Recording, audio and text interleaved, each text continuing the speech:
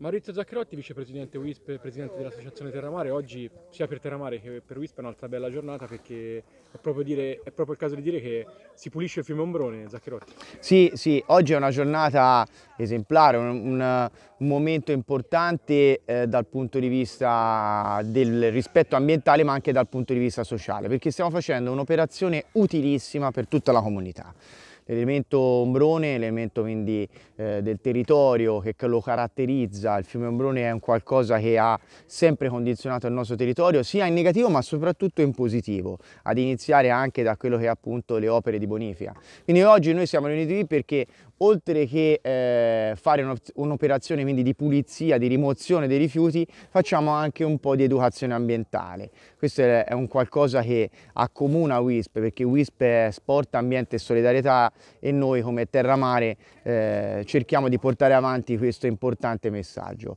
Eh, abbiamo coinvolto due scuole, l'agrario e il commerciale sportivo, una truppa da terra che pulirà quindi sulla sponda destra orografica e una truppa eh, in acqua con i gommoni che è il commerciale sportivo che pulirà poi la parte della sponda sinistra orografica del fiume Ombrone. Questa è una, una località importante, Berrettino, una località che ha storica del nostro territorio, qua c'è un, una struttura risalente a fine 1700 progettata dall'Oximenes, quindi questo fa capire l'importanza di un luogo che purtroppo negli anni è andato via via degradandosi.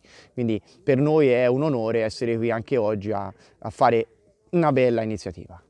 C'è anche l'Istituto Agrario Leopoldo di Orena oggi sul fiume Ombrone per la pulizia dell'argine e del fiume stesso. Con la professoressa Ilaria Caponi stiamo a parlare dell'attività appunto dell'agrario. Professoressa, i vostri, i vostri, ragazzi si stanno occupando della pulizia a terra? Sì, i ragazzi stanno facendo una, una prima differenziata nella raccolta, per cui operano una prima eh, cernita del, del, materiale di recupero e quello che devono imparare è di riconoscere le varie tipologie di, di rifiuto e imparare a differenziare. E già era stato fatto un primo lavoro con i gommoni a maggio per cui avevamo già individuato delle aree insieme alla WISP per il recupero del materiale e ora stanno operando via terra parla tanto di ambiente, si parla tanto di giovani che vogliono che l'ambiente sia più pulito, questa è un'iniziativa vera in cui i giovani possono essere protagonisti.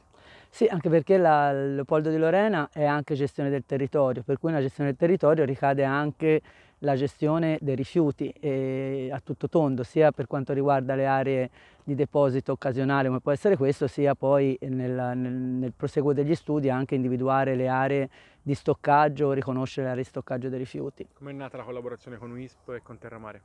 Ma è una collaborazione che va avanti in realtà da, da diverso tempo, anche per altre attività. E sia su richiesta della WISP sia su richiesta della scuola, questa cosa poi è convogliata in questa serie di, di attività che proseguiranno poi nell'arco dell'anno con altre, con altre occasioni insomma, di, di, di ritrovo, di collaborazione. C'è anche l'istituto commerciale sportivo oggi sul fiume Ombrone per la pulizia sia dell'acqua che delle sponde con la professoressa Gabriella Corsani siamo a parlare dell'attività dell'istituto commerciale che appunto si occupa della pulizia in acqua. Professoressa, come, come, sta andando oggi? Sì, tutto bene, i ragazzi sono entusiasti anche se non sono molto oh, numerosi però per andare ovviamente con rafting dobbiamo essere un numero esiguo. È un'esperienza che sta finendo perché noi abbiamo già cominciato l'anno passato con l'esperienza di SAP, canoa e rafting e eh, stamattina abbiamo questa pulizia del fiume, quindi tutela dell'ambiente in collaborazione sempre con la WISP e Terramare che ci ha seguito in questi due anni. Ovviamente è particolarmente importante coinvolgere in un'attività così, diciamo pure ambientale, le nuove generazioni. Sì, è un lavoro che dovrebbero fare volentieri, stiamo a contatto con la natura, una giornata veramente immersi nella natura e noi soprattutto nella parte acquatica, quindi i ragazzi eh, tramite i gommoni eh, solcheranno diciamo, le sponde del, del, fiume Ombrone per riuscire a ritirare qualche eh, oggetto che troveremo là e, e, e pulire diciamo, le nostre sponde. Chiara Fornaro della ditta EVR mm, che oggi si occupa del, del, recupero dei rifiuti che verranno recuperati nella pulizia del fiume Ombrone fatta da Terramare, da WISP e dalle scuole cittadine. Oggi anche per voi una bella giornata. È una giornata molto importante, infatti la nostra ditta ha dato appunto la disponibilità piena a questa iniziativa quando Maurizio Zaccherotti di Terramare ha chiesto ehm, alla nostra azienda di fornire il camion e tutta l'attrezzatura per fare questa operazione di, di pulizia.